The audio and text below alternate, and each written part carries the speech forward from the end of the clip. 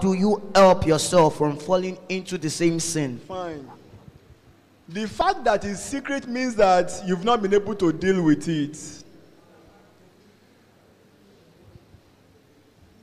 Sin thrives in isolation.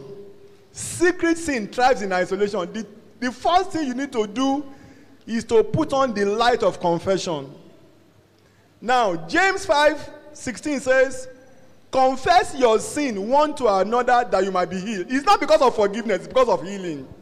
Confessing your sin to a brother, to a sister, to your chaplain, to your pastor, to your Bible study leader, to your fellowship leader, helps you to turn the light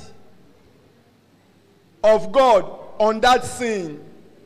What's more, that, that man can act as your accountability partner. He can act, he can help to watch over your life, help to pray for you, encourage you, you know, stand with you, fight that sin together with you. But for as long as you are keeping it secret, that sin ultimately will become a monster that you are not going to be able to deal with. Look for somebody you trust their judgment. I think that the challenge of all of us is if I talk to people about my struggle, if I talk to people about my sin, they will look at me as unspiritual. But the fact that is that you are not spiritual in the first place. So look for the second thing is that we are not sure we are safe with the brother that we are talking to. We are not sure it's not going to be a newspaper headline the next day.